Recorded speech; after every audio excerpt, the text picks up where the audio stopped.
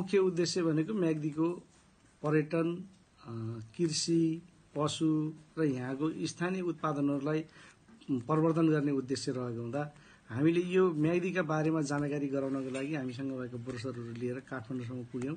काठमाडौँ गएर त्यहाँको ब्याङ्क वित्तीय संस्था पर्यटनसँग सम्बन्धित पर्यटन बोर्ड पोखराको पर्यटन बोर्डसँग पुगेर म्याग्दीको भएका हामीसँग रहेका पर्यटन क्षेत्रदेखि लिएर सबै क्षेत्रको बारेमा जानकारी गराउने र म्याग्दी महोत्सव पौष अठाइसबाट माघको सात गतेसम्म हामीले सञ्चालन गर्दैछौँ भनेर सबैलाई जानकारी गरेर प्रचार प्रसारमा हामी पुर्याएका छौँ र सबै मिडिया कर्मी साथीहरूलाई पनि फेरि अब योभन्दा अगाडि जे जसरी गरे पनि अबका दिनहरूमा अझ व्यापक रूपमा म्याग्दीमा रहेको उद्योग व्यवसाय पर्यटनलाई फोकस गरेर र यहाँ भएका हाम्रा उत्पादनहरूलाई केन्द्रित गरेर प्रचार प्रसार गरिदिन अनुरोध गर्दछु।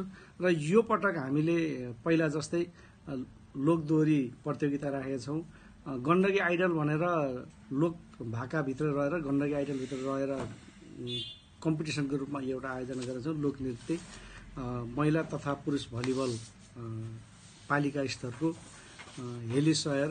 यहाँ ऱ्याफ्टिङको पनि राम्रो सम्भावना भएको हुँदा हामीले धेरैचोटि गऱ्यौँ र अहिले कुनै संस्थाले म्याग्दीबाटै अब हामी वार्षिक होइन ए पटक पटक यहीँबाट नै सञ्चालन गर्ने गरेर कुनै एउटा संस्थाले हामी सञ्चालन गर्छौँ भनेको छ उहाँहरूसँग हामी छलफलमा छौँ।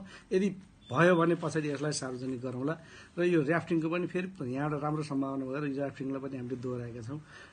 करिब करिब कार्यक्रमहरू यिनीहरू र फेरि विशेष गरेर माघे सङ्क्रान्ति मेला म्याग्दीमा चल्दै आएको हुँदा माघे सङ्क्रान्ति मेलालाई हामीले फोकस गरेर म्याग्दी महोत्सव आयोजना गरिएको छ। यहाँको चाहिँ पर्यटकीयदेखि धार्मिक अ, स्वदेश तथा विदेशमा एकदमै प्रचार प्रसार गर्नको लागि हामीले चाहिँ एकदम टोराका साथ हामी यही पौष अठाइसदेखि माघ सात गतिसम्म हामीले म्याग्दी सातौँ म्याग्दी महोत्सव गर्दैछौँ। यसमा हामीले म्याग्दीलाई नै प्रवर्धन गर्ने हिसाबले लागिरहेछौँ यसमा स्पेसल्ली अझ हामीले बेनीदेखि धौलागिरी बेस क्याम्प र बेनीदेखि अन्नपूर्ण बेस क्याम्पलाई स्पेसल्ली फोकस गरेर हामीले हेली सेयर को व्यवस्था गरेका छौँ। त्यसमा लगभग पर पर- व्यक्ति तिस हजारका दरले चाहिँ हामीले बेस क्याम्पसम्म पुर्याउने र त्यहाँको दृष्टि अवलोकन गराएर कम्तीमा पनि दस दस मिनट जति चाहिँ त्यहाँ हिउँमा हामीले उहाँलाई रमाइलो गराउने गरेर बेनी फर्काउने रहेको छ भने अर्को ऱ्याफ्टिङ काली हामी दुईवटा नदीको सङ्गम स्थलमा रहेको हुनाले काली गण्डकीबाट हामी बा मालडुङ्गा नयाँ पुलसम्मलाई नौवटा बोट ल्याएर हामीले चाहिँ ऱ्याफ्टिङको व्यवस्था गर्दैछौँ। त्यसको पनि फरक ढङ्गले। कम्तीमा एउटा बोटमा छजना रहेर अब त्यसमा पनि स्पेसल कपालहरूलाई सहयोग गराउने र उहाँहरूलाई चाहिँ मनोरञ्जन दिलाउने र हामीले स्वदेशी तथा विदेशी पर्यटकलाई कम्तीमा पनि जिल्ला भित्रनलाई यो महोत्सवले विशेष